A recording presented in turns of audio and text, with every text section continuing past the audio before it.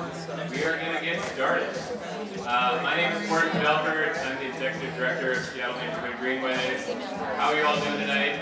Good. Good, good, good, good, good. All right, well, it's going to get even better once I turn things over to our host, Edwin Lindo. But first, tonight's organizers asked me to say a few words about what this panel series is and why mobility justice is a part of it. You know, for more than a decade, Seattle Neighborhood Greenways has been organizing and mobilizing people to make every neighborhood a great place to walk, bike, and live. And our work is really guided by the values of safety, equity, sustainability, and the idea and belief that we should be able to move freely and safely as a fundamental right throughout our city. In July 2020, we convened Whose Streets Our Streets, a black, indigenous, and people of color focused work group to examine the role of enforcement in transportation with a pro-equity and anti-racist framework. And more generally, in Seattle Neighborhood Greenways organizing for Safe Streets citywide, we really focus our investments as an organization in those communities most impacted by traffic violence, which are unfortunately disproportionately communities of color. So if you're an organizer with Whose Streets Our Streets, or you're on Seattle Neighborhood Greenways board or staff, or you're a volunteer with one of the local campaigns, just throw your hands up in the air so we can recognize you. Thank you. This change is hard, and that's why it's so encouraging to see so many of you here tonight. Thank you so much for being here and being a part of this. Um, this event series would not be possible without our sponsors, uh, Washington Bike Law, Expedia Group, the Seattle Department of Transportation, the Bolin Fund, Lime, Fleming Law, Site Workshop, MIG, GGN, Beneficial State Bank, Commute Seattle, WSB, and Alta Planning and Design. Thank you all so much for your support.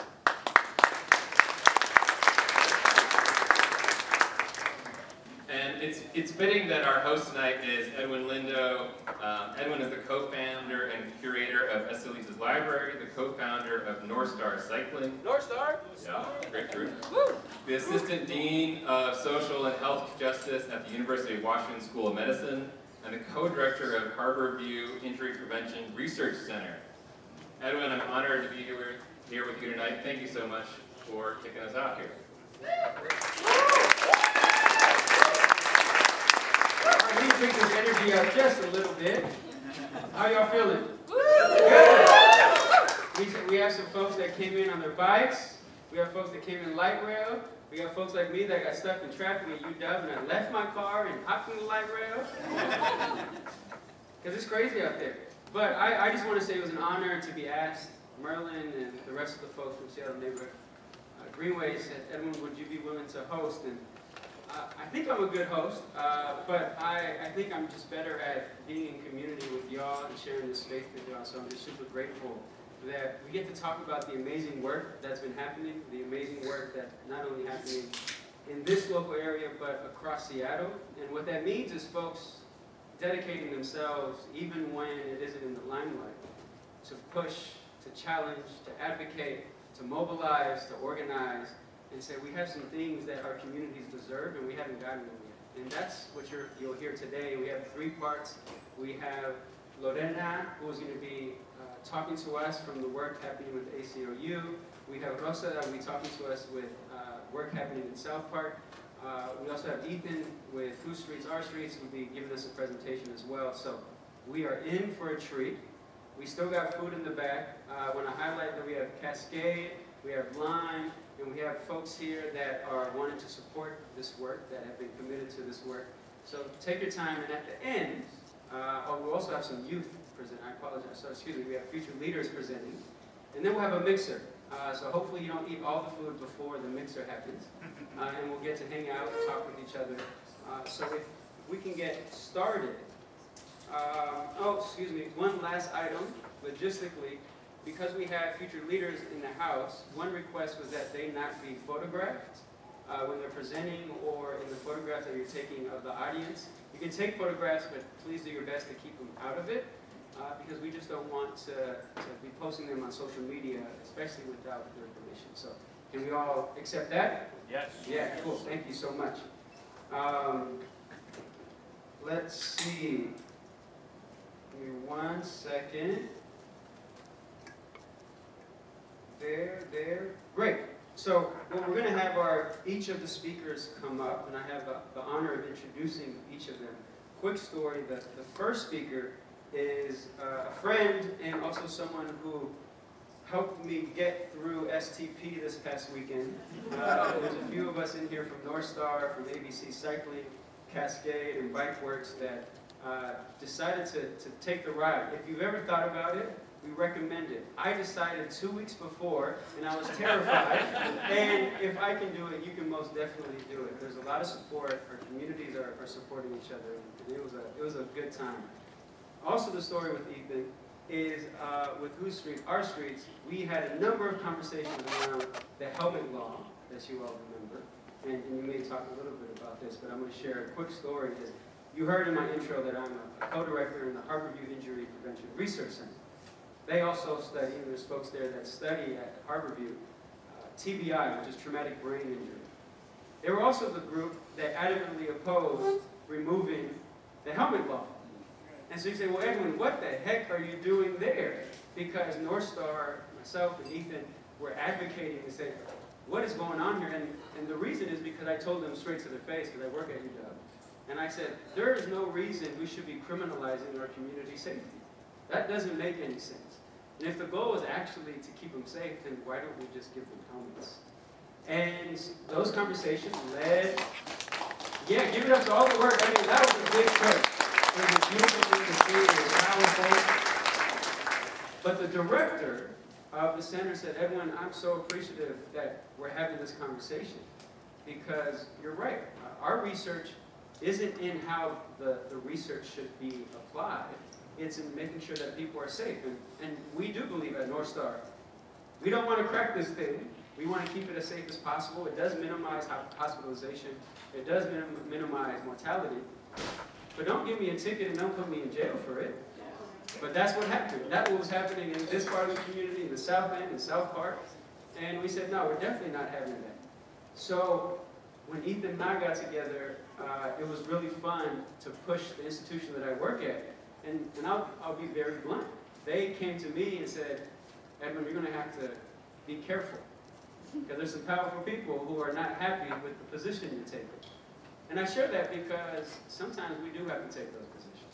Right? Sometimes we got to say the thing that no one is willing to say, even when we're working in that institution, that organization, or that place. Uh, so Ethan, if I can welcome you up, super grateful for the work that you've done, for the work you continue to do, and for the information and education you share with us.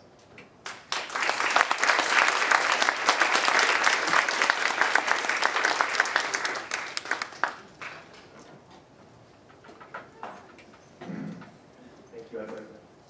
And it is an honor to be here in the community with, with you, Edwin, North Star, ABC, so many other groups. Um, I'm so grateful that you all came out to listen and to learn today. And I think what, what you said about saying the thing that, that no one else wants to say but needs to be said, that really hits home. And it's uh, on point for what I'll be sharing today on automated enforcement.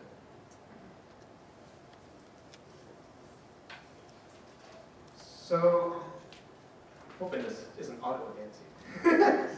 um, I'm here representing Whose Streets Our Streets. Uh, I'll tell you a bit about who WSOS is, and I'm going to be talking about automated uh, traffic camera enforcement specifically through justice lens. Before this, I want to just preface it by making clear that you know, we, we have these automated cameras to give out tickets to keep people safe. That's the, the core purpose. They work at deterring speeding. They're effective at that. We don't contest that. Just like with the helmet law repeal, we weren't contesting that helmets do save lives. They do.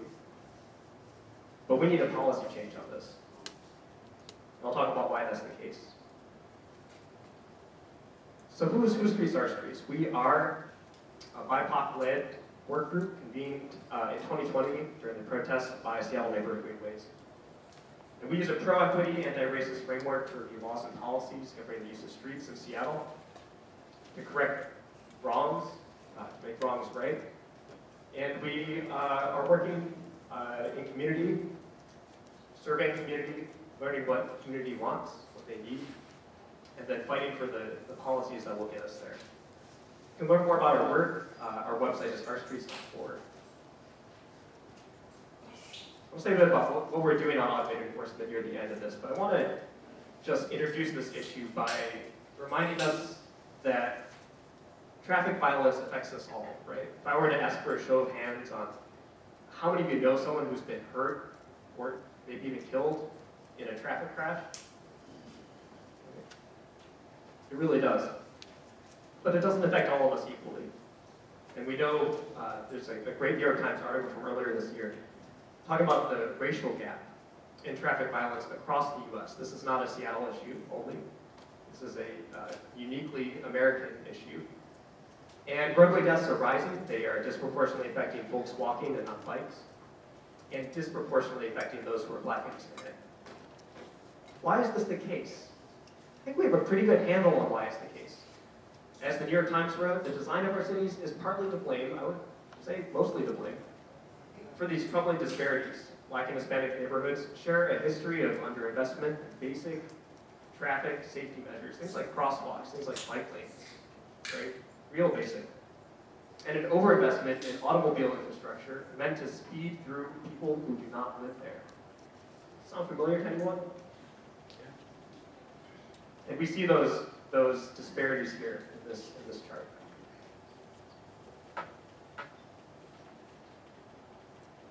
It is a Seattle issue, very much. And if you compare these maps of our high injury roadway network, we actually call it a network uh, here in Seattle, and with the percentage of uh, people of color, that's the map on the right, they're the same map. Right? Lake City, SODO, South End, it, it all lights up. And this shouldn't be a surprise to anyone who's, you know, biked down Rainier, God forbid. or anyone who's, who's uh, you know, travels regularly in the South End. Our roads are dangerous. But we know how to fix this. I want to just uh, ask if anyone can shout out. This is, this is uh, Rainier Ave right here. Four lanes, kind of looks like a, a, highway. How fast would you drive? For those who drive here, how, how fast does this road want you to drive? 45. 35. 30, 40, 45? I wouldn't say 45, maybe 40. But fast, right? And this is, this is about the design, right? We can design for the behavior that we want. You know this, we've known this for years. Not how fast would you drive? Shut up. Slower. Slower. yeah, I mean at least five, right? At least at least five, maybe ten miles an hour slower. This works, and SDOT has shown it in their data. This is uh, Rainier through Columbia City and Hillman City. They haven't redesigned the whole corridor, obviously. But injury collisions, down 30%. Collisions with people walking and biking, down 40%. Top end speeding, down 75%. These changes work. We know how to make safer streets. It's through concrete. And enforcement is rarely the only or the best way to do this. That said, in Seattle, we've decided to take a different path. And our city's solution, uh, increasingly, is camera ticketing. Right? As a consequence of the fact that our most dangerous roadways run through communities of color in Seattle, and the fact that we've placed cameras on those dangerous roadways, which you know seems like a justifiable decision until you think about where those roadways are. Our school zone speed cameras and red light cameras have disproportionately been placed in lower income communities with more people of color. And that disparity is stark. This is from an SDOT analysis that they did last year. Meanwhile, uh, I think many of you know what's been going on in the South End in terms of safety projects, delay after delay after delay. So this is what we've chosen as a city. And it's not just where these cameras are, right? It's the policies that matter. And it just so happens that we as a city have kind of chosen some of the worst options. If you look at even Chicago, just known for really uh, predatory punitive camera enforcement, they do better than us in some of these ways. Um, our tickets are exorbitantly expensive, $237 for a speeding ticket. Is that just? Is that necessary? If you can't afford to pay, good luck. Uh, alternatives to payment are limited. Uh, you can do community service, but That's a minimum wage. It's going to take 14 hours to work off that ticket. How many people have that time? 32% of tickets go unpaid as a consequence. Get sent to collections, ruining your credit score. Uh, we give no mercy here. Uh, first time warnings are common elsewhere, but not in Seattle.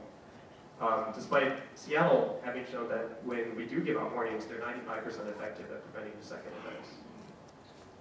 And our cameras don't trigger at 10 miles an hour like many jurisdictions, they trigger at 5. Fines don't change depending on how fast you're going.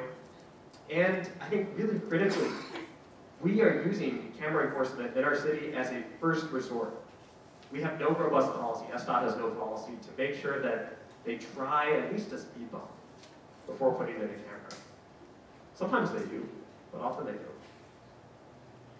And there's no transparency about uh, data privacy issues, right? These are a surveillance technology. And we have this robust uh, surveillance ordinance in the city, and yet we've classified automated enforcement as not a surveillance technology, meaning that there's no transparency about how this data gets used, who has access to it. A common refrain that I think we hear is that automated enforcement is great because it's not police. It's not a traffic stop, and, and that's true. It's not. But as that argument goes, it's replacing police, right? It's not augmenting police, it's, it's supposed to replace it. But we have no mechanism in place in, in Seattle. There's really no mechanism uh, anywhere else, in the model for this, to ensure that that replacement actually happens. And then we're also dependent on this revenue, right? The red light camera revenue, $3 billion, goes to the city's general fund, creating dependency on that. We, we fund our safe routes to school, uh, physical infrastructure safety improvements through our speed camera fund. And when that fund dropped, those improvements were, uh, were, were in jeopardy, right? So there are a lot of issues. We can do better. We know how to do better. Uh, the city ought to do better. What are we doing about this as Whose Streets Our Streets, right? We're trying to elevate this into our city's conversation because these cameras have been around for almost two decades now, and we just really haven't been talking about it. We're kind of sleepwalking into this expansion that the city has proposed. We held a town hall, we've been doing surveys, both uh, online and in person, uh, at events. Here's a, a photo of, of uh, Gail over there at uh, Juneteenth. And uh, we have you know, put out an op-ed, I encourage you to check it out. We uh, have some blog posts, we have some preliminary recommendations that we're revisiting because we have 300 surveys we're waiting through. So we're doing a lot of outreach and trying to figure out where the community is on this. This is work the city should be doing. We're doing that work. And I just want to uplift some voices from community members, things that we've heard in our surveys in person and our listening sessions. I was between jobs and had to pay for my medication. When I got a school zone speeding ticket, I had to choose between paying the ticket and paying, reducing my, med my medication, right? A $230 ticket. Community service options should be paid at a living wage, not a minimum wage. We should be focusing on root causes, not punishment after the fact. Fines should be income-based. Do what they do in Finland. Surveillance and punishment are not a permanent solution. Concrete is. The school zone speed cameras are only on during school hours, right? Should we be able to speed during the summer when there's no school in session? Should we have permanent safety improvements with concrete? What's really unfair is that the streets in black and brown communities are the most dangerous. And SDOT doesn't give enough thought about how to slow people down. And we know there are speeders everywhere, in Ballard, in Laurel, Laurelhurst, in Boyle Heights. Why target communities of color? The city's gonna put cameras in, they better be everywhere. Wouldn't that be fair? It's not the community's fault that we've put the most dangerous roadways through the south end. So some food for thought, right? I want to conclude because we're at a session about mobility justice. Uh, zooming out a bit, taking maybe a philosophical stance. What are some aspects of justice, right? There's social justice. Are societal programs and policies structured fairly? There's distributive justice. Are roadway safety benefits and burdens distributed fairly? There's corrective justice. Are we healing past injustices? And there's retributive and or restorative justice, right? They don't, we don't need both of them all the time, but are wrongdoers being punished fairly? Are there actually wrongdoers here? When people are driving the speed that the roadway encourages them to drive at? Are they doing wrong? They're breaking the law, right? But is that wrong? And are we offering alternatives to punishment that are viable? So, I'm not going to answer this, but uh, I think you can all answer it for yourself. Is automated enforcement in Seattle just? Right? None of us want people to die on the streets. When I'm biking, I want cars to be going the speed limit. But is sending out $200 tickets three weeks after the fact, is that, is that solving this problem? Is that the right approach? Is that the future we want here in Seattle? I'll end with that, and uh, thank you all for being here. I think there'll probably be some uh, chance for audience engagement I'll pass it on to here.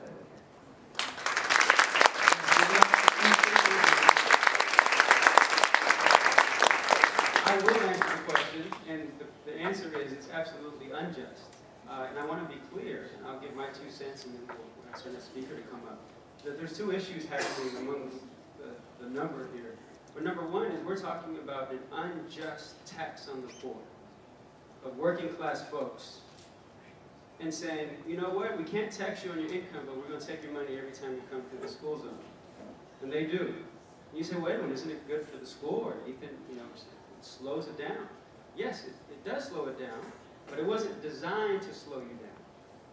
And so actually it incentivizes the dependency of people speeding because $3 million is a lot of money.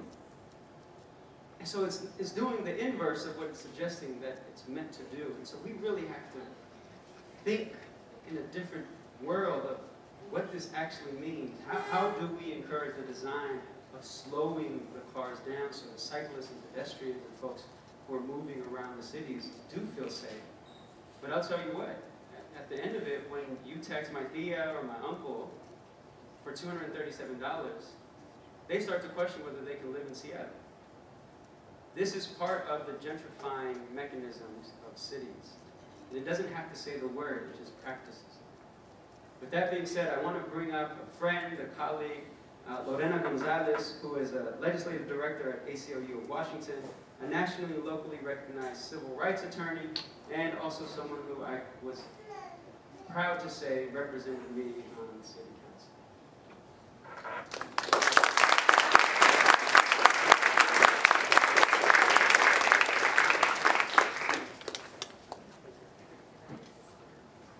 Oh, Here we go. All right. Um, thank you so much, Edwin, for that introduction, and I hope you all are um, enjoying the presentation so far.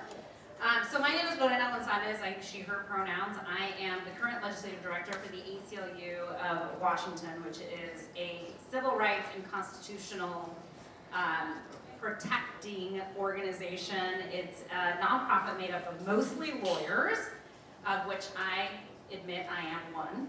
And, uh, and we focus our efforts largely on protecting the civil liberties and the civil rights and the constitutional rights of people in the state of Washington through our state um, advocacy and also some local advocacy as well. But I'm here today to talk specifically about the intersection of um, equity and safety on our roads. And you might be wondering, what does that have to do with police reform? And um, I'm happy to share a little bit of our perspective of why the issues that Seattle Greenways and so many of you work on every day in terms of traffic safety are um, at the core of what we are trying to accomplish statewide as it relates to police reform. So, I'm just gonna let us sit with this slide for a little bit. These are the names of individuals who have been killed in the course of a traffic stop and a forced interaction with law enforcement, including brothers, sisters who are right here in our own community. This is why we do the work.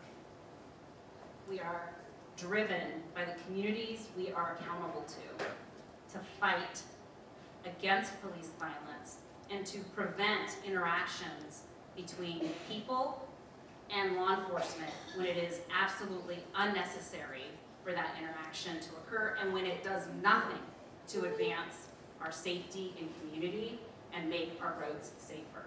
And that's the reason, that's the reason we are told as a society that it's important to stop people for things like expired tabs or a broken tail light or because a headlight is out. But we don't have to accept that as a system in our state. I want to take us back to 2020, when we were all living separate from each other, when we were dealing with the scariness of a pandemic, and then the news broke via a viral video of the murder of George Floyd. And what we saw in the aftermath of that was thousands of people across the world mobilizing and demanding police reform and accountability that was real and that was swift and that was frankly, uh, from lawmakers' perspectives, radical, but from communities' perspective, particularly BIPOC communities, long overdue and sensible policy solutions. That brings us to our 2021 legislative session, where we saw for the first time in the state of Washington historic, historic policies passed in the state of Washington to directly respond to communities' demands for actual transformative police reform that would keep our communities safe. That led to 27 policing bills being introduced at the state level. That is a historic number of bills introduced at the state. 14 of those bills passed in the 2021 legislative session.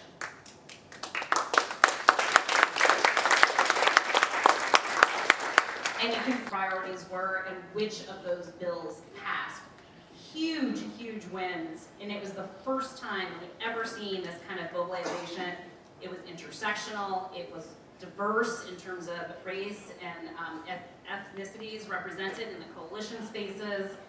People from all, all walks of life and across the state came together to, to advocate at the state for these, um, these, these bills, and it is it is because of that hard work and because of the hard work and the sacrifice and um, unfortunately the suffering of people who have lost loved ones to um, police violence that we've seen this success. So much kudos to them. And really our guiding principles in 2021 were to do two things. One is to attack things, um, laws that currently were on the books that, that uh, increased the chance of police violence occurring, and to also support policies that would effectively reduce police violence, while also increasing accountability when the system failed us and there was some and there was a constitutional civil rights um, uh, violated. And then 2022 came, and so did 2023 and what we saw in the two years after, um, in the two to three years after George Floyd's murder, was a horrific backlash on civil rights and constitutional protections um, for all of us to be safe from police violence. And that led to the regrettable rolling back of many of the reforms I just talked about. The most recent rollback was around vehicular pursuits that would now uh, soften the standards and allow uh, law enforcement to um, more easily pursue people in their cars when they were trying to get them for whatever it is they think is problematic.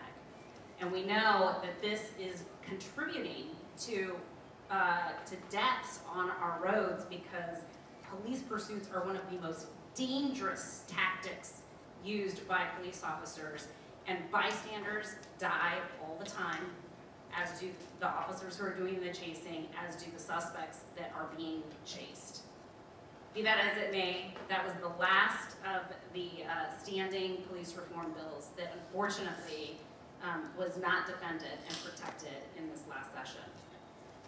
But there is hope. What is our current advocacy? We cannot lose sight of the need um, to continue to fight against police violence. And that time is now, and I'm so happy that we've been in partnership with so many folks here today to really continue um, the, the opportunity to keep fighting for safety and equity on our roads. There are policing bills that we're gonna be championing um, in the coming years, including in 2024. The first one is the Traffic Safety for All bill. The second is the Access to Fairness Act, which would end qualified immunity in the state of Washington and allow families to seek recourse and justice in court without the barrier of, um, of qualified immunity. The third is strengthening the Attorney General's ability to investigate and reform problematic police departments. And the fourth, which is a Washington Coalition for Police Accountability priority, is creating an independent prosecutor office. I'm going to be focusing my comments this evening on the first bill, which is a traffic safety for all bill, but obviously happy to answer any questions about any of the other uh, priorities that we have. So here are some um, testimonies from, um, unfortunately, relatives of people who have lost folks to police um, violence. The first one is from Sonia Joseph, a, who was the mother of Giovanni Joseph McDade, who was stopped in Kent for expired tags. That's it. No other offense. And he was shot and killed. Second is the cousin of Charleena Lyles, Tanya Isabel. And I know many of us are very familiar with this particular incident, but in that case, Charleena was calling for help and ended up being killed by Seattle Police Department. The reason I'm sharing these stories is because it's important for us to ground ourselves in what it means to say that we're fighting for equity and quite literally fighting to keep people alive. And all of the literature and all of our experience tells us that, that when individuals are forced to interact with law enforcement, when that interaction is not necessary, it most times leads to some kind of force being used, and unfortunately, in too many instances, it ends up in death. 1513 would help to stop that. It does three things. It, it includes a community grant fund that could be used to support low-income road users to fix their vehicles to avoid the violations. If you can't afford to pay for your headlights or your tags, you can't afford to pay the ticket when you're stopped for not having paid your tags. This is a common sense solution that we should be funding immediately and at the scale needed to get people the resources they need so they can fix their uh, vehicle issues and prevent having to be trapped in the cycle of fines and penalties, arrests, or even worse, being shot and killed. The second is prioritizing safety stops, prioritizing actual safety stops. So this bill would reduce weaponized enforcement of non-moving violations, because that's what we're doing. We're asking somebody with a weapon who has the right to kill you or subject you to the force of being exposed to um, a gun. We're, we're, we're asking those folks to do non-safety related traffic stops. The second thing um, that we would do in terms of prioritizing safety stops is restricting irrelevant questioning and voluntary searches on these low-level stops. These stops, traffic stops in particular, are largely used as fishing expeditions to sniff around your car and find out what else might be happening so they can bust you on something much, much harsher and put you into the criminal um, legal system. The third is data collection. We want to have statewide uniform statistics uh, that are being tracked consistently and regularly, and that those and that that data is being uh, provided uh, to the public for analysis. We want to know who's being stopped, why they're being stopped, and what was the outcome of that stop. So I already spoke a little bit about the grant fund. Again, it supports low-income road users, it would uh, come in the form of repair vouchers. Um, there could be taillight installation workshops. We could fund helmets. Um, we can uh, also uh, provide fee waivers for expired tabs. And, you know, our imagination is our only limitation in terms of thinking about how to best use those community grant funds. Uh, 1513 also, im- importantly, um, would require that there could be no stops, no police stops for non-moving violations. So that's things like driving with your license suspended, a misdemeanor warrant, and the only exception to that is if your equipment failure presents an extreme public safety risk, an actual road safety risk. It would also require that all stops, except gross misdemeanors and felony, it would require that the officer log and state the reason for the stop, so we can go back and double check and have accountability and make sure that there isn't some sort of like fake reason why you're being pulled over. It would not allow consent searches, meaning that Uh, uh, in many, in many instances, um, constitutionally, you're not, you're not required to agree to what's called a search, a consent search of your vehicle. They have to ask if you want your car search, if they can search your car, and you must consent to that. In these low-risk, uh, non-safety related stops, we're saying that's off the table. You're not allowed to even ask if you can search the vehicle so that you can engage in your fishing expedition, which is rife with racial, dis- racial disparities. So again, no questioning beyond the violation unless the peace officer detects evidence that establishes reasonable suspicions sufficient to question the operator about an independent criminal offense. So in other words, you have to have an actual reason why you need to search the car or engage in any kind of questioning beyond the initial reason that you were stopped. So, data collection. What we heard this last legis- legislative session is that the number one reason why law enforcement needs to pull us over for expired tabs or tinted windows or broken taillights is because it'll lead to creating safer communities and prevent deaths on the road. And one of the things that was argued was, well, how else are we supposed to find all these drugs and guns roaming around in people's cars if we can't pull them over for expired tags? Because, you know, there's a correlation between the two. I'm being sarcastic for those of you who can't pick up on my sarcasm. Um, and what we learned is that Washington State Patrol had stopped 11 million motorists. Uh, uh, and I think this is from, from data in, from 2008 to 2018, they stopped 11 million motorists on the road.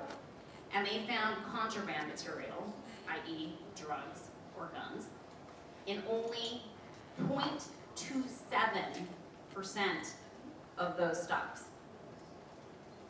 So this is, this is a red herring. It is a false argument.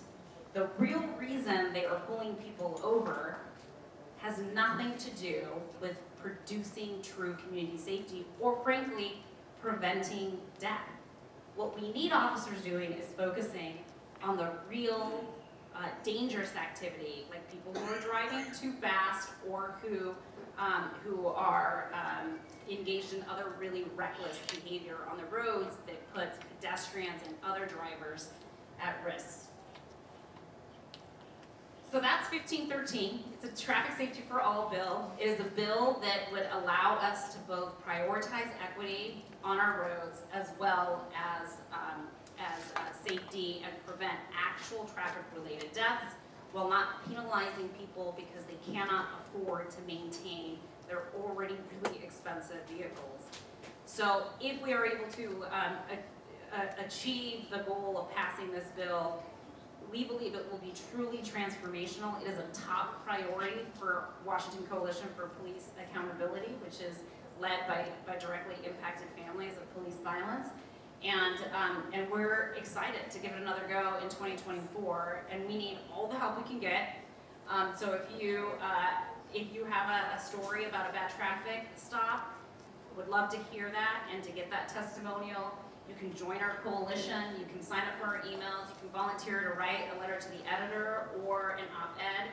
And most importantly, you can talk to your lawmaker, not just at the state level, but at the local level as well, to make sure that they um, know that you are supportive of a bill that will produce equity and reduce um, and increase safety on our roads for all of us. So Thank you so much. Appreciate the time.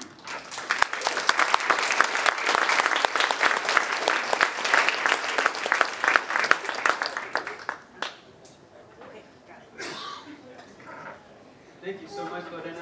Uh, I'm, I'm excited to hear the work that's happening, the, the powerful work on the legislative side in Olympia that we absolutely need to happen. Uh, and we'll be able to ask some questions in a bit. I'm sure they're, they're nestled there in your mind, waiting to just raise your hand and say, wait, wait, wait, I have a question, but we will, we will bring them back. We want to make sure we get to hear from everyone. The next person uh, is also someone who's been doing some amazing work. Her name is Rosa Lopez. Rosa is an organizer and community member with Reconnect South Park, and we'll talk a bit about the organizing that they've been doing, the projects, and, and really how we should be thinking about the work in South Park and what we need to do outside of just what's happening here in Beacon, downtown, North Seattle, that South Park is also just as important for, for our support and our organizing. Rosa.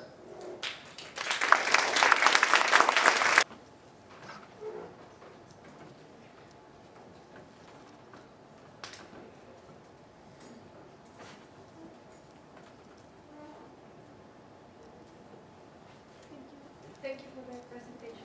You do an amazing job, and I'm so happy to be here and thankful for everyone to put time and came here. And you know it's hard these times to make time, and you guys make it time, so I now want to try to stay longer here.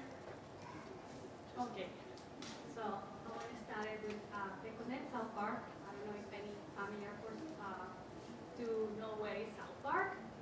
If anybody know where it is, can raise their hand and I'm happy. you, everybody know where it is. Okay. It's a small, uh, wonderful community uh, next to the river in Des Moines. And I would love to show you some picture and some uh, work we are uh, doing there uh, with the community. Uh, this is uh, our collection and happy to also present one of the members, maybe you're familiar with them. Uh, we also have Maria Ramirez here, uh, she is back there. And I will be uh, happy to have anyone and join us in all the what we are doing during the summer. We will be sending letters and invitations so you can learn more about it. And this is uh, about uh, Reconnect South Park and the Connect Community. Uh, if you know, we have the 99 freeway. Uh, they cut the community into uh, to uh, basically, basically cut the community into. And we have uh, one side the school and the other side the library, and one side uh, we have this uh, community center. And this uh, freeway they make use injustice. Try to people from South Park move out and use uh, that land for uh, most uh, all uh, industrial area. You know the uh, river is there. They use it also for uh, now ships more. You cannot fishing and you can swim. Well, you can do, but it's polluted already. so people just do not do that. So that's why we try to also make change there for our justice. We have uh, the school and the one side of the freeway, so the community, uh, one of the ways they can connect to the community is walk over the freeway. And it's only two ways to cross uh, from the one side to the other side. One is this little walk bridge, and also it's going from one side of the freeway, so you go down. And it's a little bit scary and sketchy walk there because it's kind of like dark and it's very like you know, no any beauty to walk there. Only the freeway and the noise. So communities work there and uh, walk every day. They're not happy also with that. So you can see here is uh, the area where they uh, freeway they planning like we are working on it. And this is the focus area you see it is 99 and go back. You see the South Park. And also you will see the uh, South Park most by the river. Well, the river was there, but they put the 99 and 509. So it's unnecessary freeway there. And it's for uh, pollution for uh, people who live next to the freeway and it's called Save Lives, 13 years. Uh, and I also hear about like the people, the kids they have a high uh, asthma on that uh, area. Well, you say, why did not move out? Yes, why did not move out? This is not solution. Because when you make home, you want to stay there with the people you know.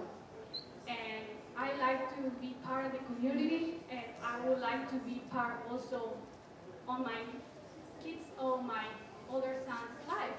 And we live in this community, and we, we fight against uh, injustice. We, we fight together, and sometimes this freeway is not necessary, it's alternative.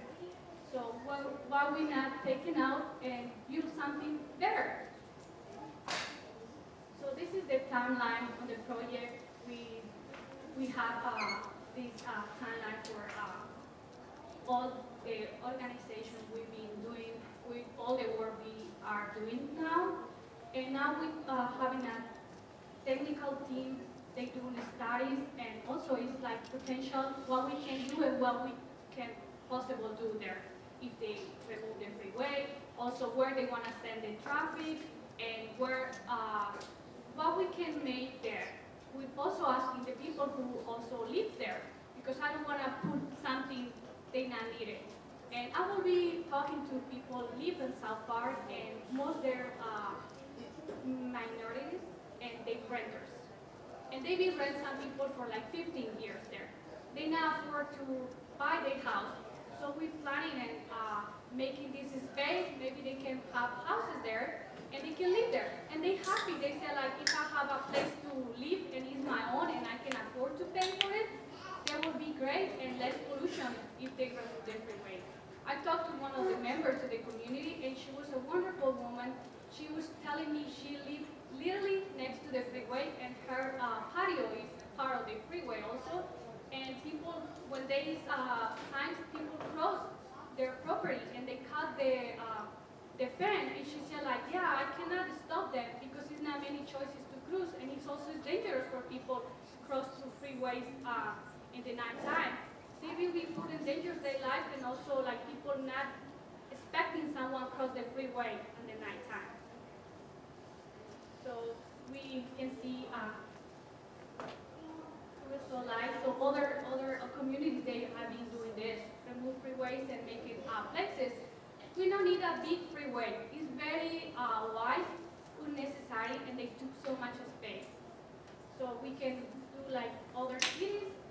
Uh, I will be put more uh, pictures.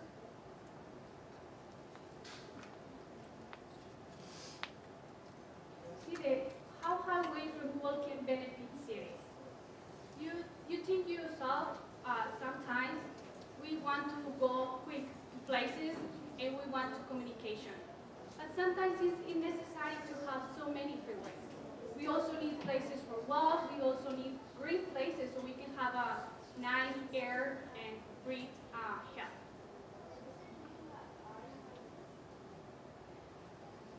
South Park is one of the uh, 45 projects around the United States to be selected in 2023 for a federal Reconnecting Communities grant. So,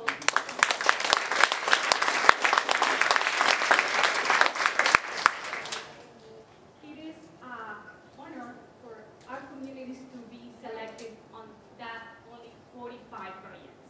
So it's a lot of work and also a lot of people work on put these together and we appreciate also that people not here and they put a lot on this and we're working together and I invited you also like if you one day have an idea, talk to the community and we can make change. And we also we're working forward to make change for a better life for our communities and for our kids. You will see examples. It was a neighborhood and now it's a freeway.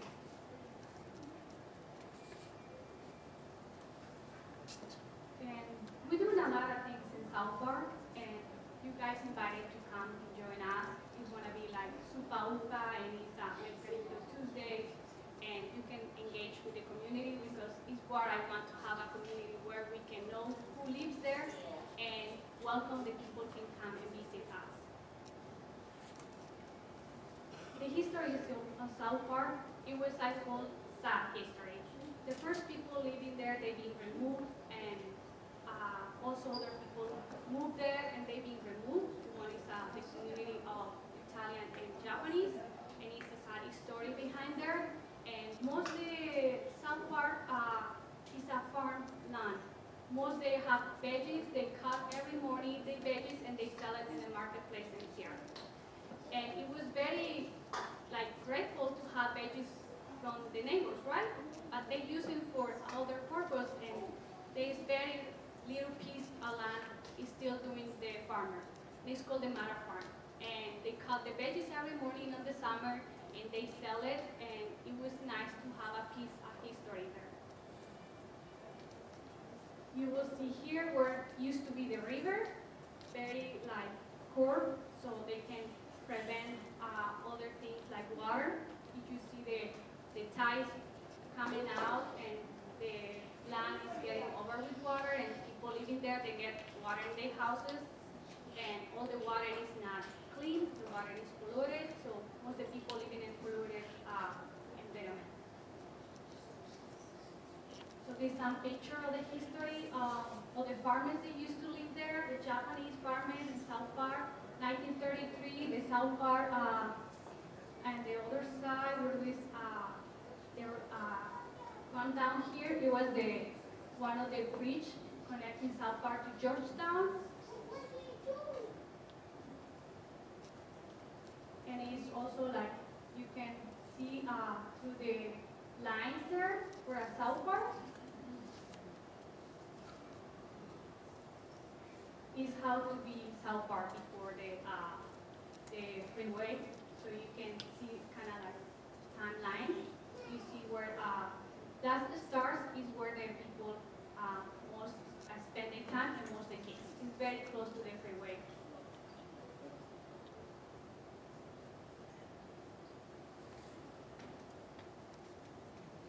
Uh, this is one of the houses uh, from the Japanese and it was in the past. And also I read uh, one of the book about the community of South Park and one of the sad stories I read is about like the guy talk about his family, his house, and he say, my house is in good condition. Why they want to tear down my house?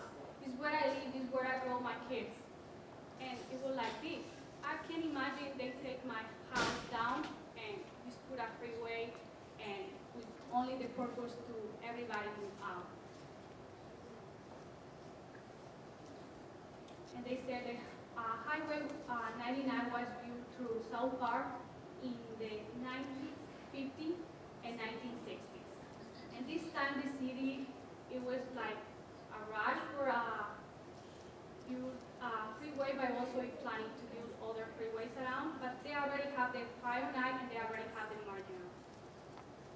I will present more longer by one time.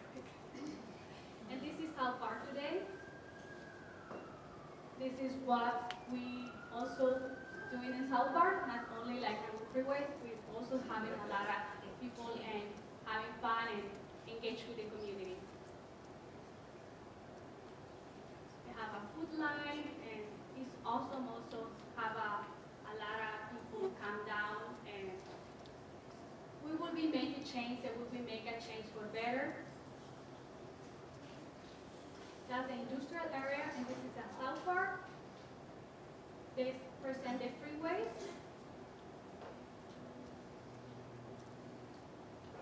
Duwamish River.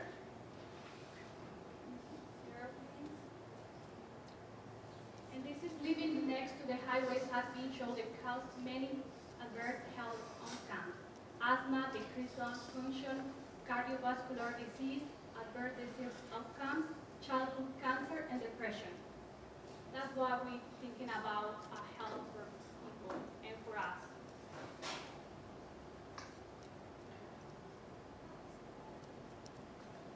That's where the people spend more time and most for our kids. The concourse, the Cesar Chavez Park, Community Center, Community Center Springfield, uh, the skate park, and the library. This is the one of the sites sites I talked to you about before, where the people walk. And it's a great opportunity to have a nice place there, and even not a house, we can build also parks, and we can have a place where we can use our bikes, or we can use walk and have a nice time there. Together, we will explore in future vision for South Park and this segment on highway. This is many of the possibilities we can do together.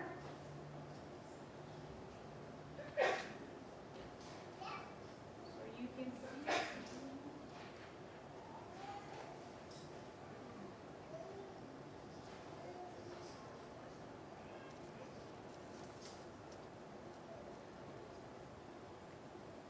Oh. It was a video, but it will be long, so I want to stop here and I want to thank you all to be here and listen, and hopefully we can make a lot of change for a better future and for our kids and for our health. Okay, thank you. so.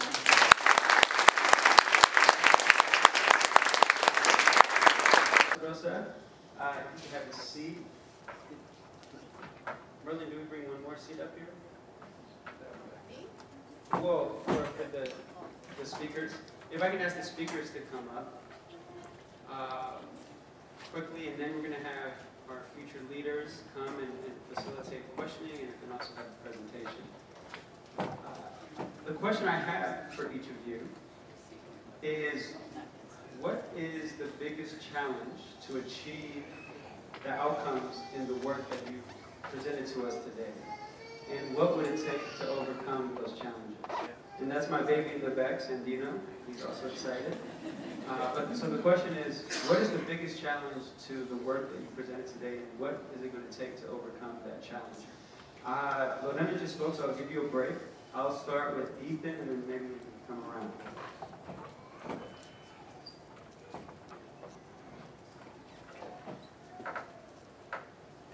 We actually weren't given these questions ahead of time. That's a good question. Um, I think the biggest challenge is the community, right? There are a lot of folks, uh, when it comes to automated camera enforcement, who want cameras in their neighborhoods, who want streets, streets to be safe, and see cameras as the natural or maybe the only way for that to happen. Right? These are these are our neighbors, maybe people in this room? We're not all traffic engineers. We don't know that, that there are solutions out there. Uh, so many things in the toolbox that SDOT has, things like curb cuts and raised sidewalks and lane narrowing. People just want safety. And we and, and, and, and expect that ticketing is the way to get there. So community is a challenge because people want cameras. I think this is where this is where we all come in, right? Seattle is going to be having this conversation about automated enforcement, and there are going to be opportunities to engage with the city. There are going to be official surveys that SDOT will send out eventually. This process will take longer than we all expect it to, which in this case I think is a good thing. And if you if you all can engage in that and, and tell the city that what we need is safety, but what we need is is safety through infrastructure, safety through these proven interventions, and for the South End to be prioritized. Right? I know there are a lot of advocates here from all over the city, and we do a great job at advocating for safety improvements in a lot of neighborhoods, but not the South End. We got to get better at that. So I think that's the solution, that's the path forward, and uh, I, I think we're all going to be part of that.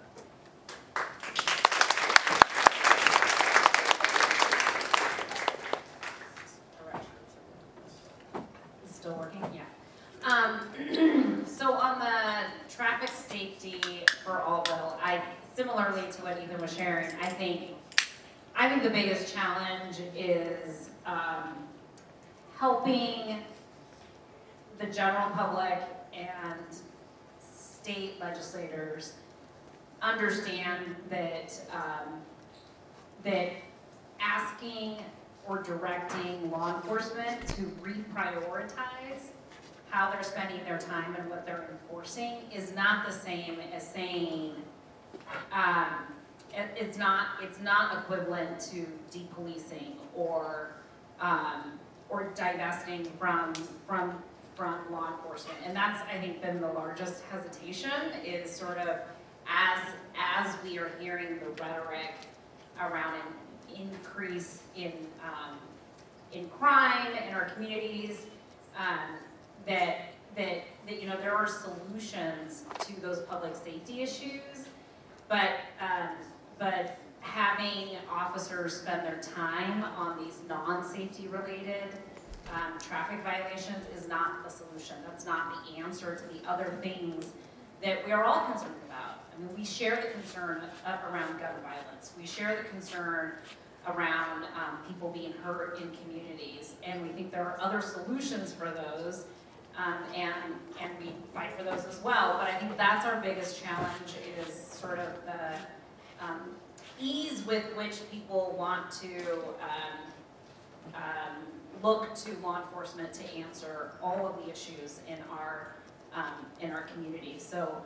Um, it's, it's a t- that's, a, that's a real challenge for us at the state is sort of this fear of worsening public safety concerns in community by um, passing this bill. So the way that I think um, we can overcome that is by having folks like you who are constituents engaging with your, your representatives and your senators around why you think this bill um, actually increases safety on the road by making sure that law enforcement is spending their time on things that are actually dangerous behaviors on the road and not spending time on things that just unnecessarily create um, opportunities to target people of color who, uh, or low-income folks who, um, who just need this grant money to be able to correct the issues that they're having. So I think, you know, a lot of that engagement, a lot of conversation, a lot of just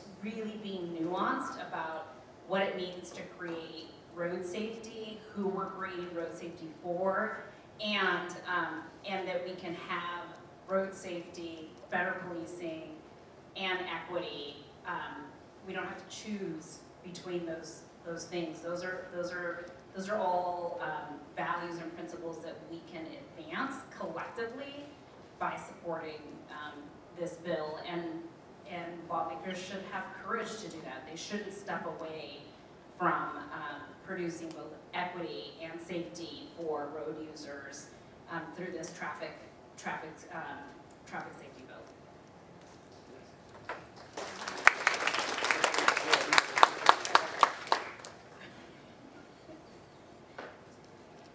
Uh, for me, the, the challenge.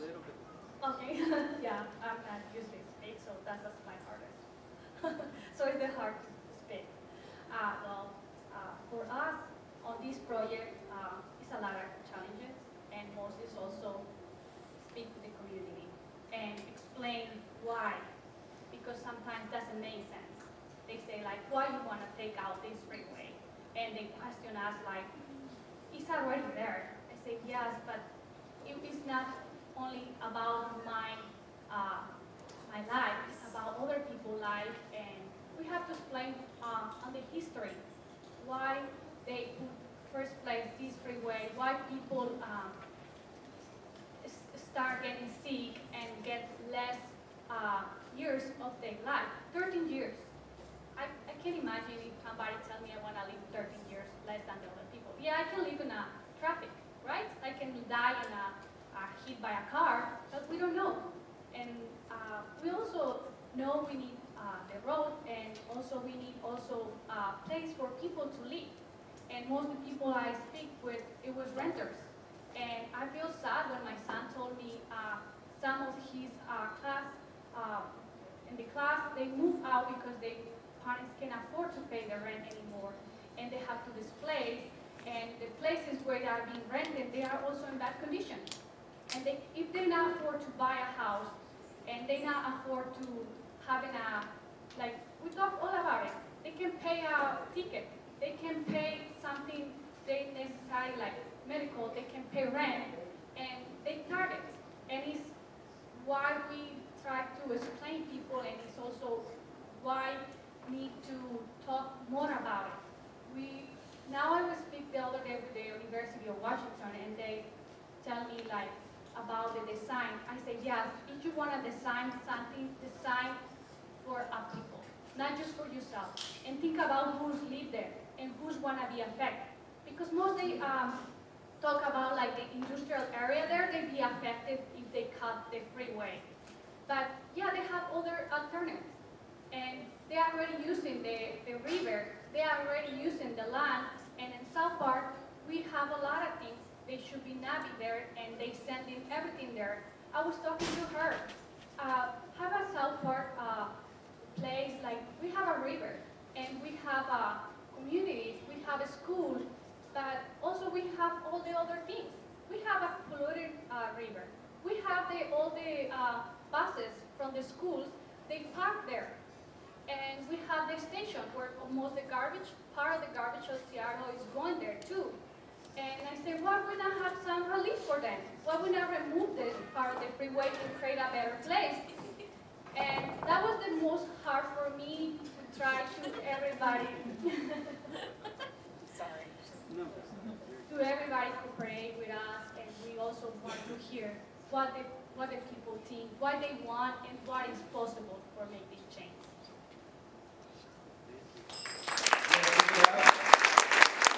It's inspiring, the the visioning for, for all the work that's happening, but, you know, I just want to put a speed bump by my house so the cars don't drive so fast, and Rosa's taking away a freeway, like, that's amazing. Like, I love it, give it up. That is so- Uh, Now I want to welcome up Alex, Alex Liu. Yeah! Uh, from Seattle Neighborhood Greenways, uh, and he's going to share a bit about what we need to do next. Yeah. Hey everyone, uh, I'm Alex Liu. I am an SNG board member, also a WSOS member. And I gotta say that this has been really, really inspiring, the, just the amount of collective energy, brilliance, and leadership that I've seen in this room.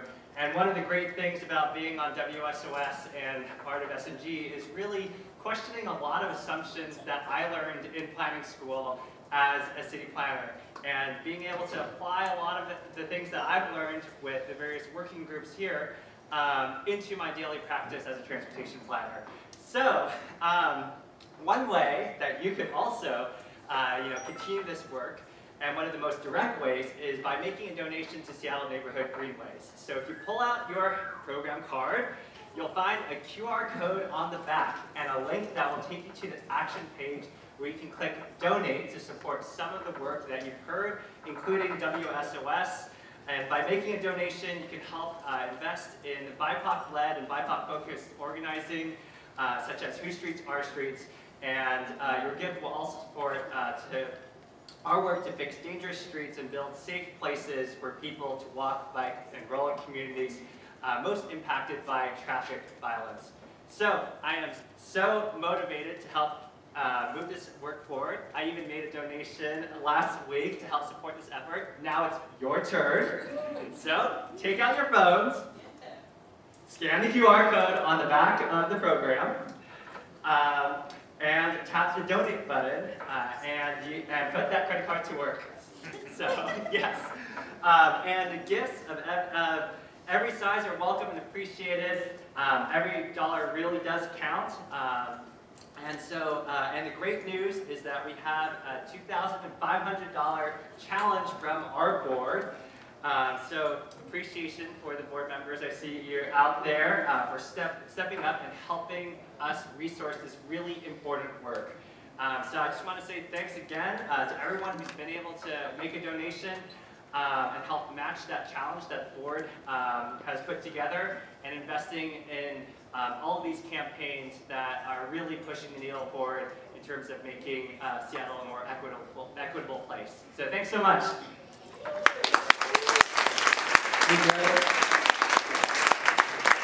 I'm going to make one last announcement request. You know, Alex got up and kind of shared that donations help a ton. Uh, I don't really do this, uh, but I did this because my sister, KL, and my sister, Merlin, reached out and, and asked me. And with KL being a part of this, this is the real deal. This is the work that changes outcomes in our community. This is the work that makes me feel safe because I know she's a part of it. This is the work that, grounded in justice, means that black, brown, indigenous folks lead the conversations and demand justice. That say we won't leave this table until we get it. That says we won't leave our communities until we get it. That say at the end of the day, if it's me putting it on the line, sacrificing for getting justice, then we're going to put it on the line. And so I'm so grateful that everyone came out, stuck, stuck it out with us. I hope you had a good time. I learned a ton. Go tear down a freeway. Let's get the police stopped from killing us. Let's make sure, as Ethan shared with us, that we don't tax our communities because we want them to get out of here. Let's make our streets safer because we designed them safer. Thank y'all so much. Shout out to SNG, shout out to Lucian and give each other